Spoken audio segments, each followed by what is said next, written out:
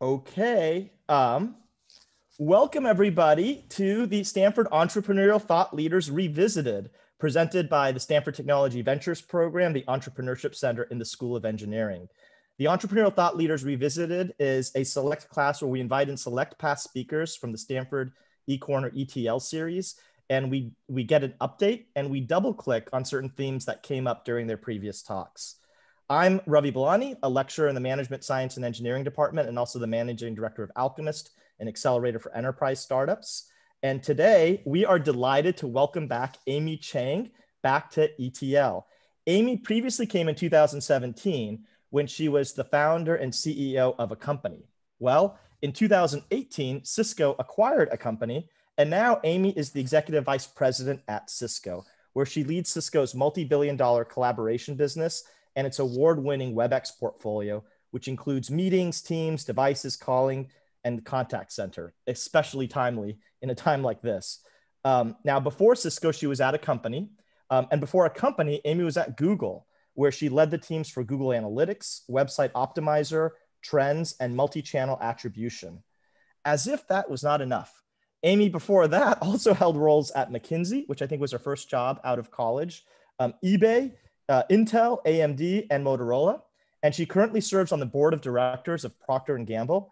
And, and I believe Amy's also been on the board of Cisco, Splunk, and Informatica. And she's also an advisor to a litany of startups, including HubSpot, Optimizely, Bloomreach, Origami Logic, and Datorama. Amy is a techie, though at heart. She has a, she graduated from Stanford with a bachelor's in electrical engineering, not just electrical engineering, but electrical engineering with a hardware subspecialty and an MS in electrical engineering with a network systems subspecialty, both from Stanford. And so we are thrilled to invite Amy back to ETL to discuss what she's learned over the past few years and to double click on a couple themes. So welcome, Amy. And I should say, welcome to the Stanford community and welcome also to our YouTube community. Um, we appreciate having everybody here for this talk. Um, YouTube community, please, you're welcome to engage in the chat on YouTube and Stanford community, um, keep things interactive with us as well.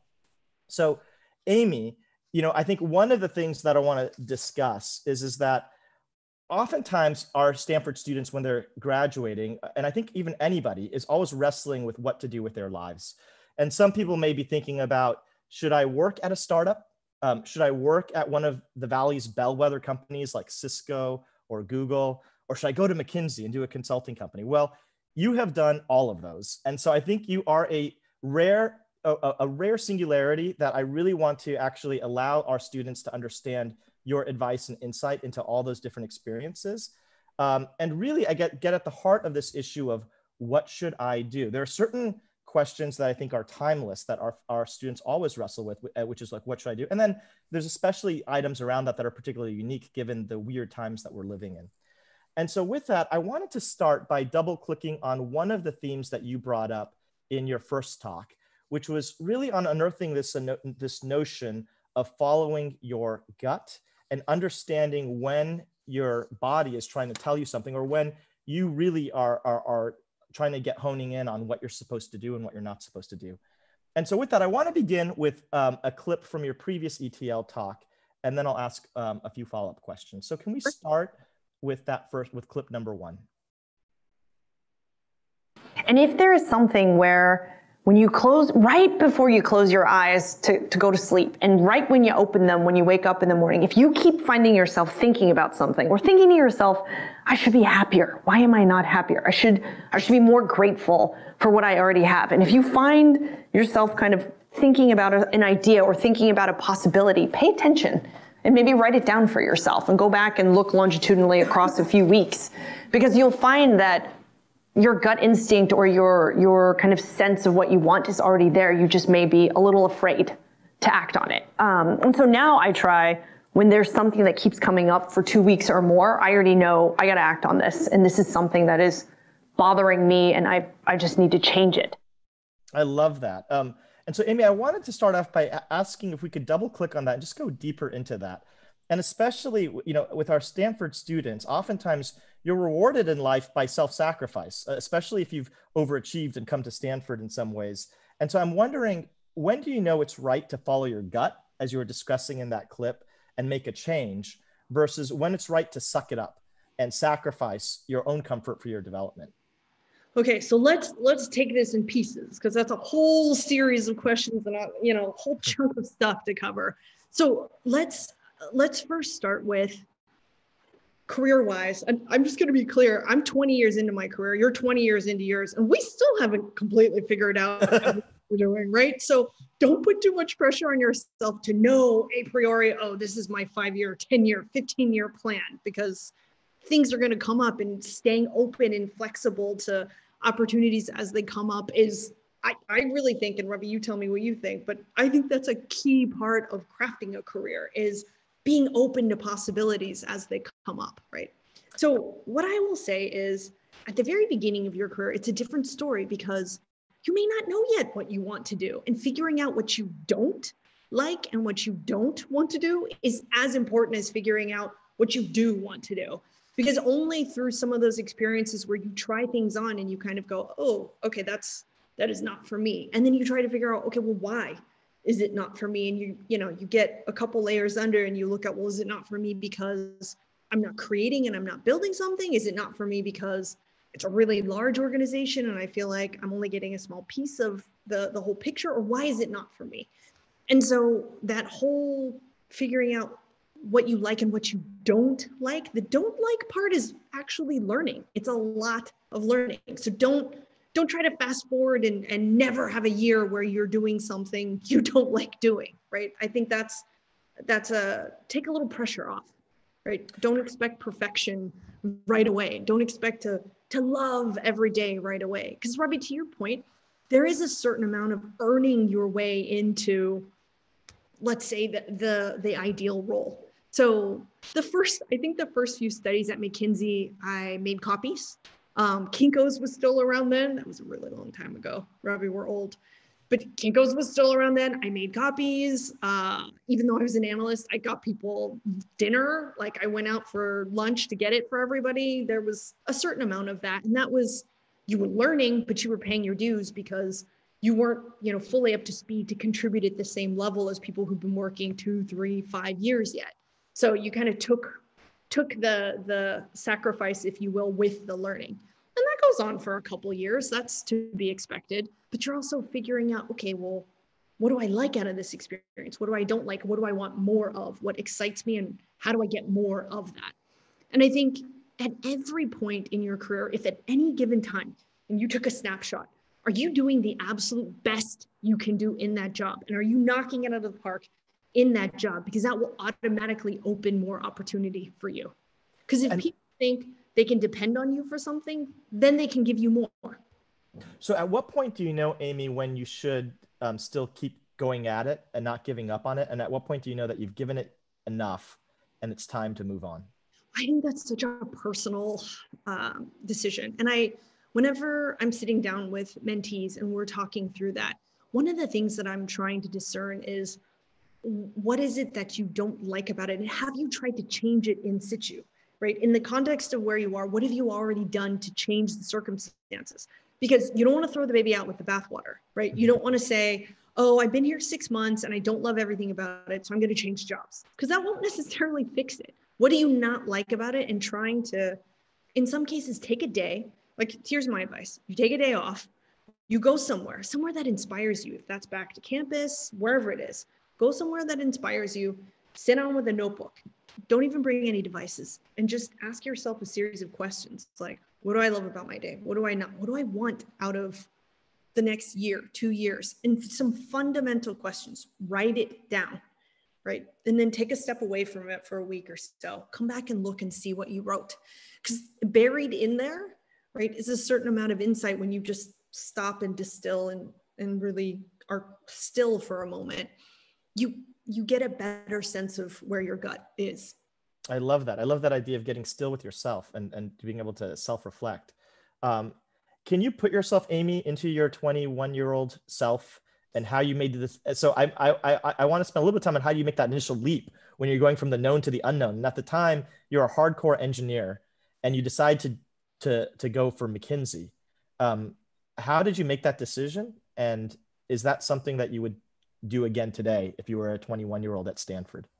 it is something I would do today, but I did it for my own weird reasons. So I had joined the Mayfield Fellows program, and I had realized as part of that program that there was an entire universe of stuff I had no knowledge about. So, you know, when people discuss business models and value chains and even a supply chain and basics of, of business like that, I didn't know what they were talking about. I was like, this is a different language and I have no idea. And the more I looked at it, the if you, you know, look at a company or a business as a whole, that entire sphere of go to market or, you know, commercialization even as an engineer, you have to have some knowledge of that. And I was too cheap to want to go to business school or to accrue debt to go to business school. So I figured if I go to McKinsey, they will basically pay for me to travel because I'd been out of the country once before I was 18, right? And I really wanted to see the world. So they'll pay me to travel and you know, if I want to go to business school, they'll pay for that, but it's also like getting, you know, parts of an MBA without having to go back to school. So that's actually why I did it. it. Is a totally odd and personal reason. But you have your own reasons, right? for choosing whatever it is you are choosing. And I, I think, yeah, the, the more you allow yourself to experiment a bit and to have some trial and error as part of those first five or six years, the better. So there's this one part about getting in tune with yourself and knowing when you uh, what you really really like and what you dislike and also knowing that you've given it your best and then also think about what you want to do next when you've decided to make that transition i want to spend a little bit of time about how do you then architect the next steps to get to where you want to go um, especially because Accompany which which was which was a startup which was really um, a platform for all of this um, i think you are one of the leading thought leaders around thinking about um, how to think longitudinally on creating opportunities for yourself um, and so there's several questions on this, and I don't want to load all of them on up front. But the first one is, we are living in such strange times, especially if you're graduating from Stanford right now in COVID or anywhere in the, in the COVID epidemic. Do you have any advice for finding a career or a job in the era of COVID? It is, I, you know, I feel for everybody having to find their first job right now. It is hard. Um, and I wish it wasn't for all of you because that, that part really does suck. So I was just on um, a call the other night with someone who's you know in the midst of kind of finding her first job, and we were talking about it. And a lot of places aren't hiring. So the question then was, okay, depending on what you want to do in a year, right? Because a lot of places aren't hiring right now. What specifically are they looking for? How do you figure out what exactly that hiring manager and that kind of set of hiring managers is going to be looking for and what is going to set you apart as a candidate right and figuring out through a whole ton of informational interviews which by the way some may be meandering some may get you exactly what you want but investing the time to go figure out what's going to differentiate me what's going to make me stand out and double the applicant pool right because there's this year's applicants and next year's applicants so what is it that i can do to differentiate and we were talking through some of that and I think this is where scrappiness gets rewarded. This is where grit gets rewarded, right? And um, one of the things that I, Ravi, you and I talked about this last time, the network piece of this. And I know early in your career, that seems kind of okay, well, what network, right? I haven't even started working yet.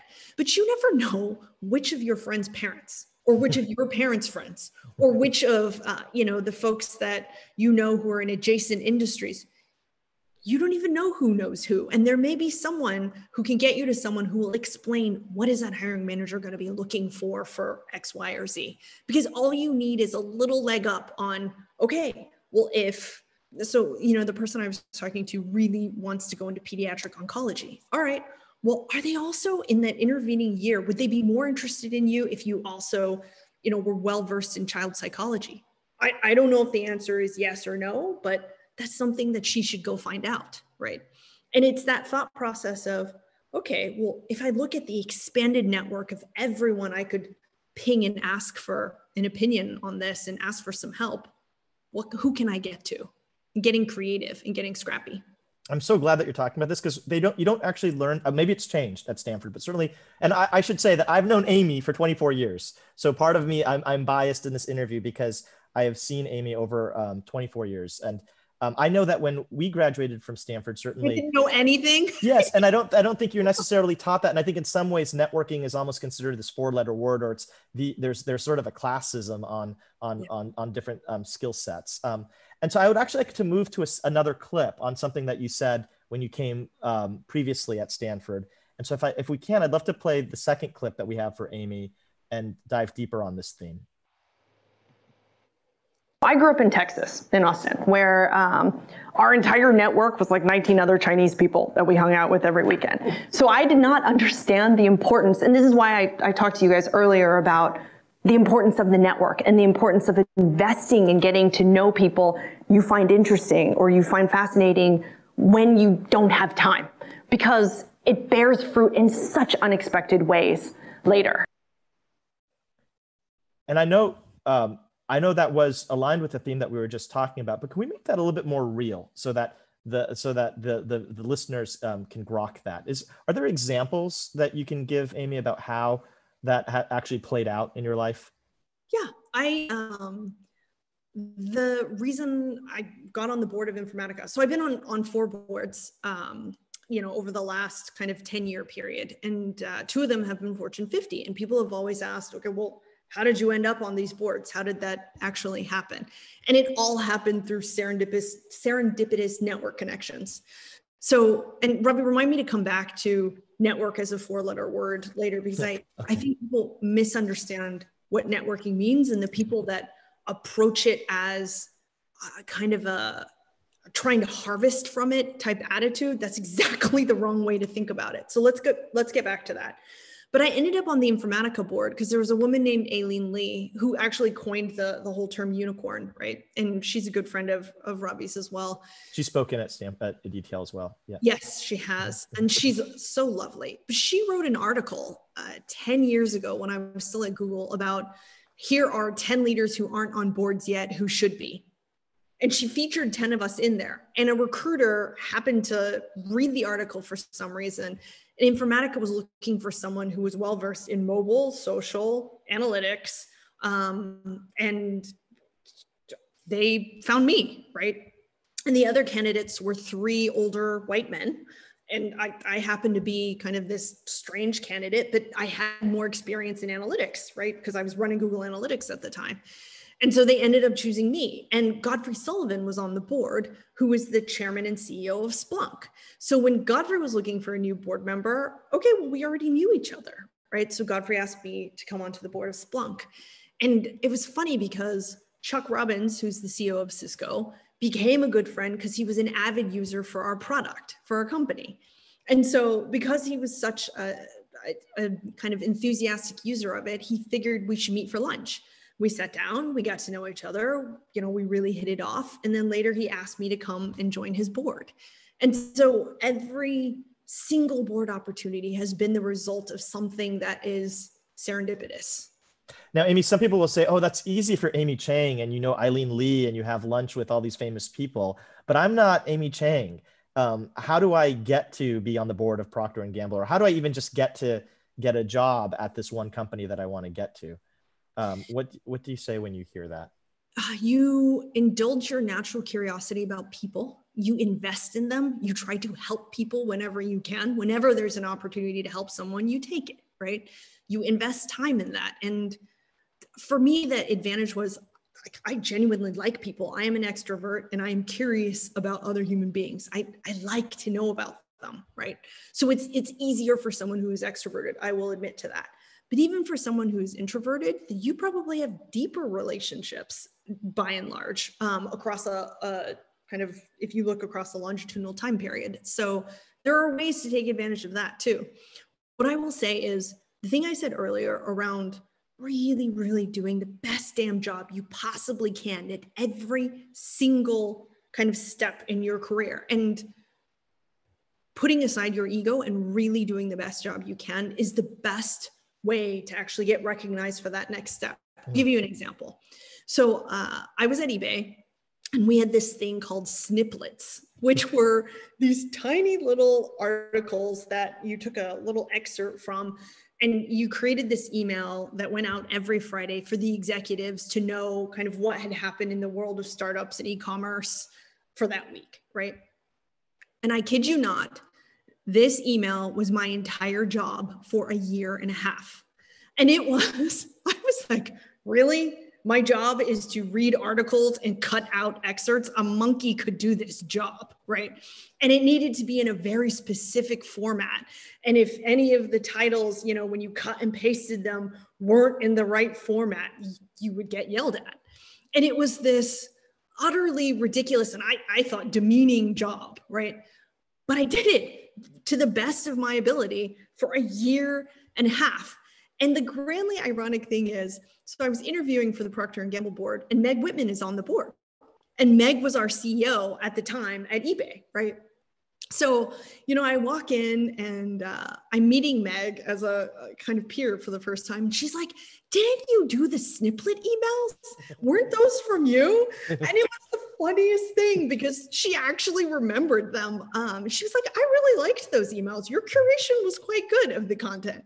But it, it's, it's those things where it will over a 20 year period surprise you how things you did will either reflect well on you or not right so I, I just i really do encourage every single one of us to whatever you're doing you love it you hate it you committed to it so do it to the best of your ability while you're in it and at the same time if you want to look at other opportunities and kind of keep your ear to the ground for other things that are happening by all means do it but still do the best job you do can. The best job you can. That's so good. Um, and I, I want to spend a little bit of attention on addressing this issue about how people have a visceral reaction when it comes to this notion of networking. Yeah. Just even mentioning that word, I think people will, will, will react with with disgust. And it's also especially if so, some people, especially I am introverted. Actually, I'm not extroverted. And so the idea, the, the worst thing in my mind is to go into a crowded room and to have to network. Um, what Me would you too, say? By the way, I don't want to go into a crowded room and network. I would love to go into a room full of people I know and like. Yeah. And, and get to talk to them, but that's a, a different thing. Like I still experience so um, you know, for board meetings, sometimes we invite customers and partners to come and you'll walk into a room and I, I still feel a slight, you know, double heartbeat or a slight hitch in my breath of, oh, a little bit of nervousness in approaching this room full of people that I don't know that I'm you know then going to have to to pick somebody to go talk to and and hope that they're fun to talk to right? I it's I don't I don't think there are many people who would say they love that. But if you look at it as these are you say 30 unknown human beings in this room and I have the opportunity to pick two or three and get to know them for you know, let's say a 10, 15 minute period, and maybe there will be one that I have a connection with. And isn't it true that the best networking actually is not one that is a short term transaction, or it's not something that is going to necessarily reap fruits in, in the short term? And in fact, the most significant networking in your life is stuff where you are just meeting somebody for the sake of just meeting them and the sheer joy of that and then it will bear fruit in unforeseen ways in five to or, or you know in different ways down the road. You almost can't do it for with a specific intent in mind that kind yeah. of defeats the purpose. Like if you approach it from a, a, a, kind of standpoint of genuine curiosity about people right? Everybody has something to teach you. Mm-hmm. Regardless of who they are they do have something to teach you and if you are humble enough to realize yes every person has something to teach you whether it's about life about work or what right then when you sit down with them, what you're really trying to figure out is, oh, what does this person have to teach me? And what do I have to help them with? Like what what can I, based on my experience, help them with? And if it's done with that kind of open-mindedness, if you will, a lot of times you may, let's say you have 10 lunches, eight out of 10, okay, that was a nice lunch, but you know, there's not going to be a, a long-term relationship. But maybe two out of 10 there is. And if you're doing, let's say, 10 every quarter over a 10 year period, you have picked up a lot of really interesting people that you can depend on and ask various questions of. And do you actually, and are you deliberate about thinking about things like that? Like, do you deliberately try to say, I want to do 10 lunches or a certain number within a certain period? I deliberately try to say, even though I'm I'm going to be really busy. So there was a time when about two to three years when my son was just born that I just could not, right? Like Google Analytics was up and to the right. We were you know, approaching 50% of the web that we were covering at that point, and it was crazy. It was like all hell had broken loose every single morning, right? Um, I just couldn't find the time. But beyond that two to three year period where I couldn't, I have I have always and it it started naturally. It wasn't something that was deliberate. It was it probably started at Google because I don't think I did it at McKinsey or eBay.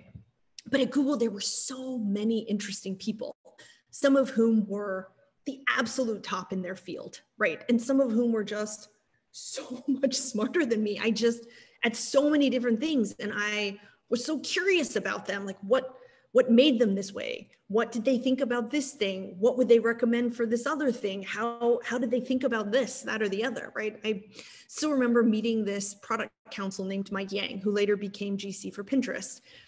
And he, I, I GC watched, means general counsel, chief lawyer. Yes, general counsel yeah. of, of Pinterest. And I watched him in this meeting, and he was the first lawyer I had ever seen who had such phenomenal business judgment applied to his legal opinions.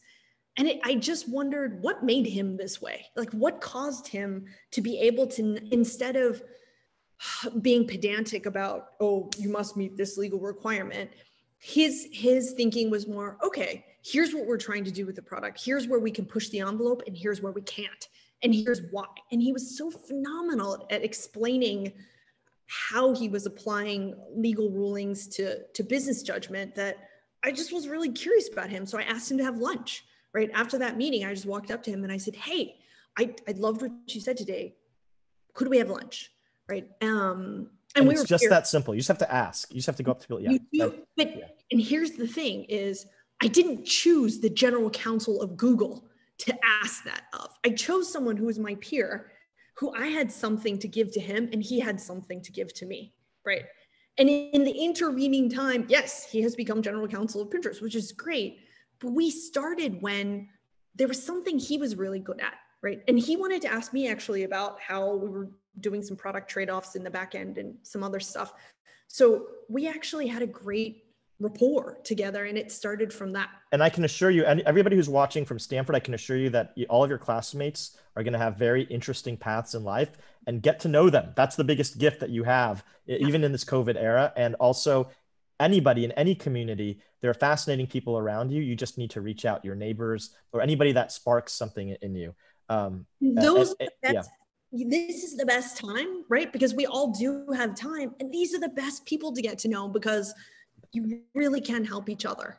Yes. And I think Amy and I are testaments to that. We both knew each other when we were both confused engineers at Stanford who went to McKinsey. And now Amy is, I knew Amy before she was famous. Um, uh, but, uh, but, um, uh, I want, I would be remiss, Amy. I know we have just a limited amount of time left and I want to open this up for Q and A in, in 10 minutes or eight minutes, but I'd be remiss in not asking you to talk about boards because I think boards are this, these mystical, entities that very few people understand. And I'd love to demystify that a little bit. Um, you have experiences from boards from several different perspectives, having been a startup founder that had to assemble your own board, to then also serving on startup boards, to now serving on public boards. Um, and so I want to unpack a few things on this if we can. Um, the, first, I, I, want to start off with startup boards, and there is a clip that I'd love to play that on something that you mentioned before when you came here about why boards are so important. So, if we can, I'd love to play that clip now on clip number three. Choose your board members carefully because it's a seven to 10 year relationship, right? It's a long term relationship. So it's not just the money they bring, but is this the person you want in the boat when the stuff hits the fan? Is this the person you want to, to be seeing every you know month to two months across the table for seven to ten years. Do you like this person enough to do that? And um, I, I think the weekend before taking the term sheets for our seed round i actually called 26 ceos because i wanted to understand what did it look like when you failed with this investor? What did what did their face look like then when things were not going well did they stay with you in the boat? Did they abandon you? Did it, did it get ugly? How did it look? And I think that uh, talking to founders who have failed with that investor will tell you far more than almost anything will about them. So, Amy, I want to first just start to demystify what boards are, um, can you explain what does a board do fundamentally? What is a board? So at, at the most fundamental level, the, the board answers to stakeholders, primarily shareholders, right? But also other stakeholders like the employees and the leadership team, et cetera. But really, you're there to hire and fire the CEO. That is your job.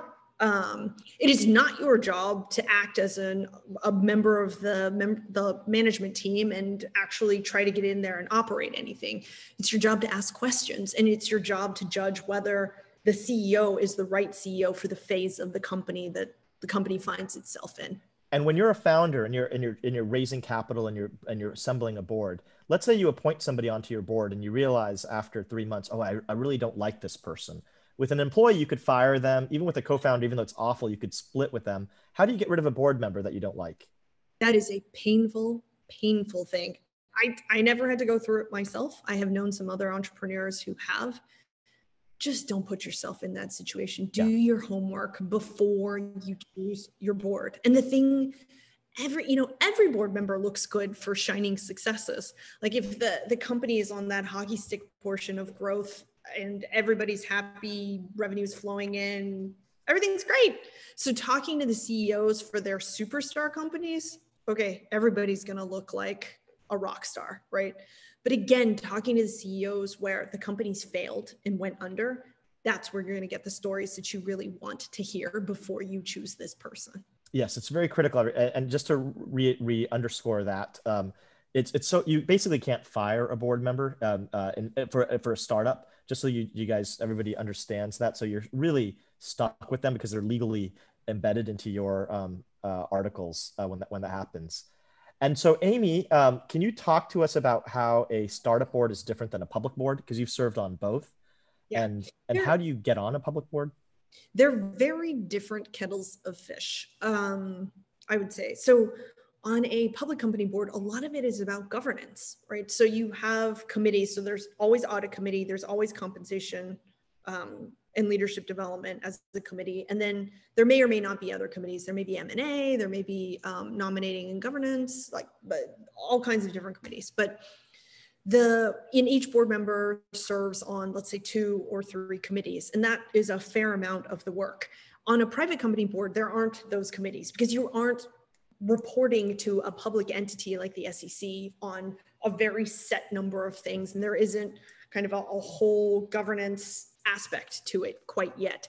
You're more trying to help that founder really see around corners, right? And see macro trends that are going to hit the company. You're really trying to test their thinking on the strategy and really make certain that they've asked themselves all the questions they need to. You're helping them from a leadership team formation perspective.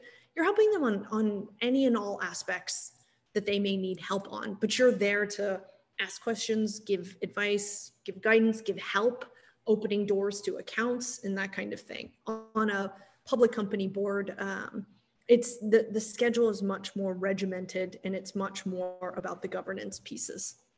And can you talk about the gender composition of these boards? So you've been on the pub, you've been on the boards of Procter and Gamble, Cisco, Splunk, Informatica. Um, these boards are oftentimes these cloaked entities that very few people know how to um, get inside of. Can you talk about the dynamics of being a woman on these boards and maybe how they were, it might have been different across different boards? Do you know, Ravi, what I've loved? So I um, have been the only woman, one of two women, and one of four women on these boards. And being one of four women is so glorious because your gender stops mattering. Nobody even cares what gender you are because it's almost half half, right? When I was the only woman, there was one time when someone said, Well, let's ask Amy for her perspective. And it was on women in general for you know a customer question for this and and i was kind of like okay so i'm supposed to represent half the population of the entire globe with my viewpoint? Come on like that is a recipe for failure. So uh, i love it when there's more balance because gender is not even in the consideration set for the dialogue right? Everybody brings their point of view because you're you are more than just your gender right you are a whole amalgamation of things and an entire perspective that's been informed by all your experiences so having that diversity of thought in a much more balanced way you know across the board has been fantastic i've loved that experience And I'm going to end with one final question. Then we're going to open it up to the for um, any questions from the listeners. Um, do you have any advice for our female listeners right now? Um, anything that you want to tell them? I do. I um, I sometimes will ask my my female friends if they're debating, ah, is it too aggressive to say that? Or should I ask for that? And my sister's 11 years younger and she went to Stanford too. And we often talk about career stuff. Um, and we'll call each other on this. Would you say that if you were a dude? And we will, we will literally ask each other that question. Would you, would you be worried about this if you were a dude? And we, we're not trying to point out that, no, I wouldn't, but we're, we're asking one another and keeping each other honest about what, what insecurities or, or what, things what vulnerabilities we might open ourselves up to just because you know we're we've had a different experience the whole way through. And i like that we call each other on that because a lot of times the answer is no. And and it's freeing when the answer is no. You're like oh okay well maybe i shouldn't i, I don't need to, to self-flagellate about this quite so much then the other thing is um, at cisco we were half women on the executive leadership team I haven't had that experience anywhere ever before. So our chief revenue officer, our CFO, um, you know, myself on the engineering side, our chief customer officer, we were, and our um, chief PR officer, we are all women. And it was the camaraderie there and the fun that we had together. I, I wouldn't give it up for anything. And I think for all of us, one of the things that I had earlier in my career when, you know, there weren't that many women kind of on the leadership team that I was in, we had a group of four and it became five of us where we had slumber parties. So once every couple months, we would kick our spouses and children out of the house. Um, we would take it over and we would spend the night chatting and eating things and drinking things and just talking about life and everything together. And it was so lovely because it was this blend of life and work and friendship but you could be vulnerable with those women in a way that you might not at work because you know you let your hair down and it's a safe environment and having forming those friendships and maintaining them through getting you know getting married through having kids through all of that nurturing those relationships is so important and making it still a priority to maintain them it's so important and, and and the very moment that you need it it's too late to build it. So you do yeah. need to just start that. And, and it's, it's, also, you'll do it for the right reasons. So if you start it because you intrinsically love it and it'll yeah. reap rewards later. Yeah. I want to turn over, I, I, don't want to monopolize all the time. Everybody wants to ask you things and I've, I've been taking a lot of the attention. Um, let, I'm going to turn it over to the, the, the to the Q&A list that we have. Um, the first question um, is, and I'll just read this verbatim. It's great to hear from you, um, especially knowing the conversations that went on in Washington, D.C. today. Seems like both sides of the aisle are upset with big tech for very different reasons.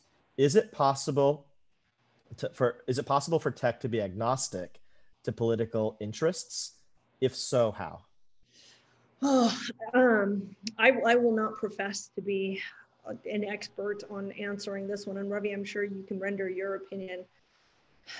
I think this is a really hard one. So, having been at Google for a really long time, you're trying to protect free speech, right? And you're you're trying not to be the arbiter of what such a, a large audience of people, in Google's case, billions of people will see when they when they ask about any certain topic. And I think um, some of what Twitter has done, which is just to put people on notice that there may be some factual misrepresentation in what's been said here. And not taking sides, just letting you know that there may have been some factual misrepresentation and you might want to look into it further as a responsible reader of this content. That that feels like it does not prohibit free speech, right? While at the same time helping inform users that they do have a responsibility to to get informed. Um, but it is we um, we grappled with this all the time with search results. We grappled this with this for YouTube results. We grappled with this for you know what is okay to serve ads on and what's not okay to serve ads on, and which ads are okay to serve and which ones aren't. Um, I, I think it's highly nuanced and very very complex, and comes down to our you know some of our constitutional and very fundamental rights that this country was built upon. It's, it's not a simple one. Not a simple one. Not a simple one. I agree. I think yeah, governments are being replaced. I think by networks in many ways, and I think it's they're they're they're it's it's not that is not an easy question. Okay, um, this second. I like this second question where okay. she, this person is asking about the difference or similarities between making professional connections and making friends.